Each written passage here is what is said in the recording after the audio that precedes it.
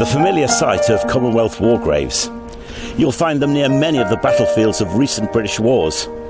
But these are not in some corner of a foreign field that is forever England. This is England.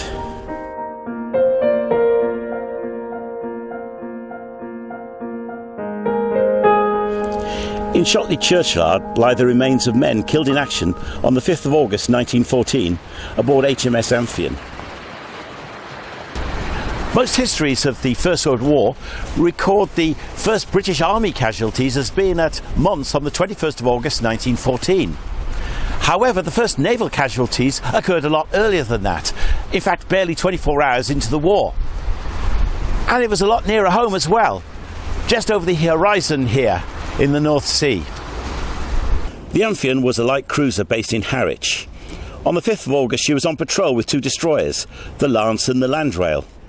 They spotted a German mine layer, the Königin Louise, trying to lay mines near the entrance to the haven ports.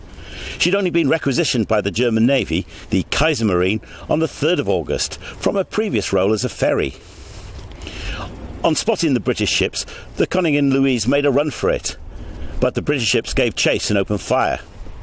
The Amphion struck the killer blow, and the Königin Louise's captain decided to abandon ship and scuttle the vessel. It was the first Kaisermarine ship sunk in the war. The British ships picked up 46 survivors. But at about 6:30 p.m. on her way back to Harwich on the 5th of August, HMS Amphion struck one of the mines the Königin Louise had laid the previous day. Casualties were high, and the ship was left drifting helplessly to strike further mines and sink early the next day.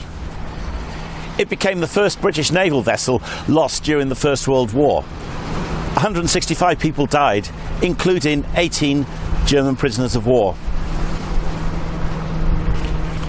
The wreck is now a war grave.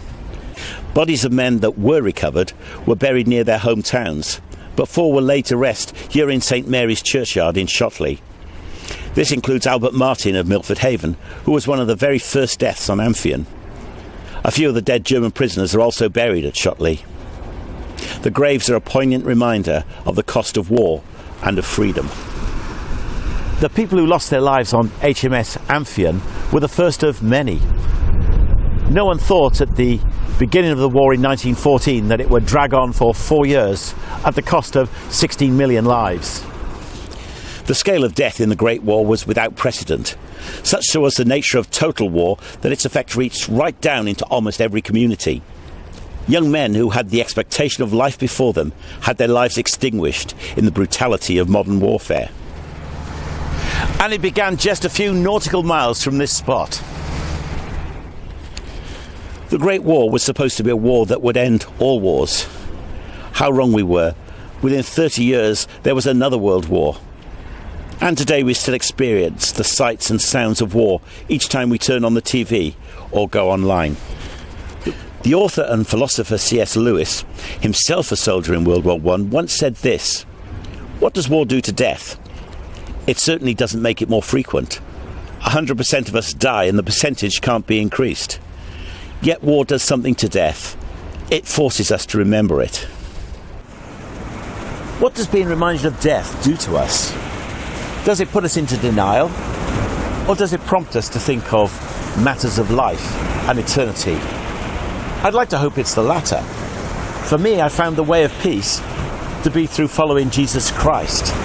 Because I find that in following Him, I find that I have peace with God and also peace with other people.